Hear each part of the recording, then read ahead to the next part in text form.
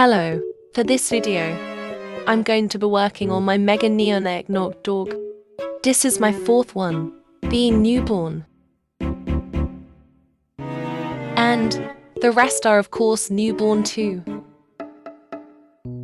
Anyway, I'm mostly going to be talking about Frostclaw's Fury. Obviously these are my thoughts but let me know. What you think in Decadence when Santa gives you the poison cookies? He mentions how they're from Thistlebird.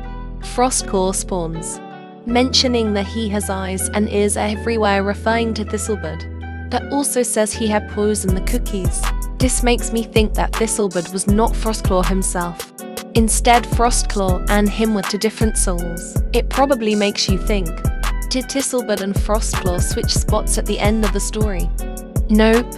I think that Frostclaw was created by Thistlebird to get revenge. Since he's over a thousand years old, and an elf, I don't think he'd have the strength, but Frostclaw would help him through that. And to those who were listening, he also states that the time machine malfunctioned, which probably refers to Tom. Assuming this was before he got cloned, it makes me wonder why he's mad at Santa instead of Tom. There was another thing I noticed.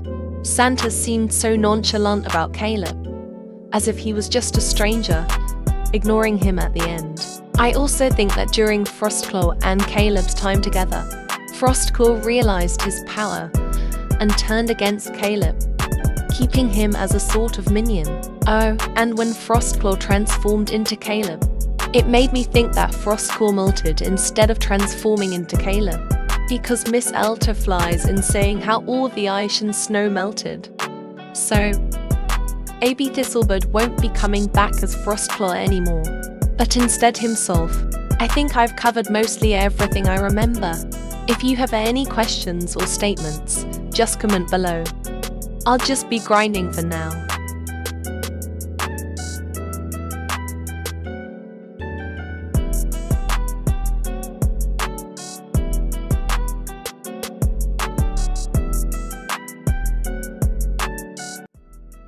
Honestly, I get so bored grinding.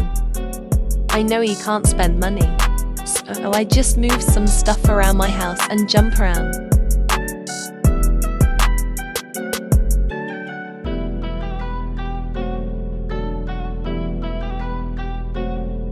Oh.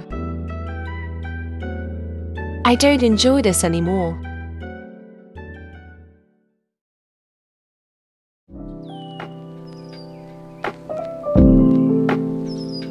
Of course, one missed the jump.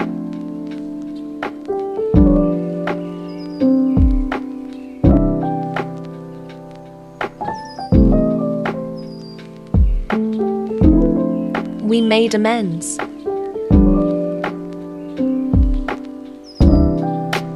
Okay, after an hour or two, it's finally halfway through post teen.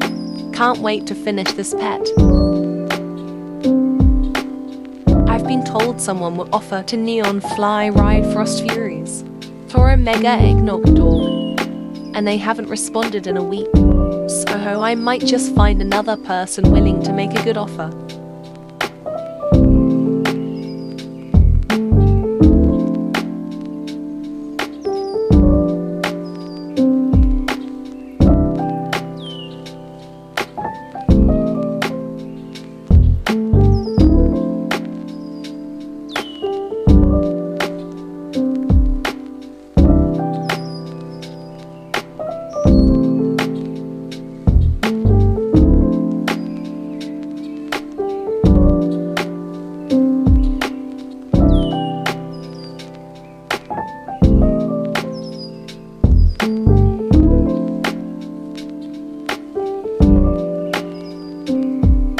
Was actually falling asleep at this time. Let's cut to the chase.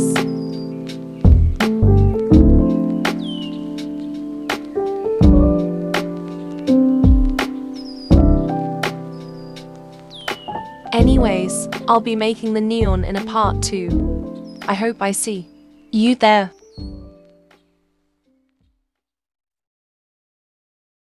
Thanks for watching. Comment this word below too. Join a small giveaway. Winner gets for beluga whales.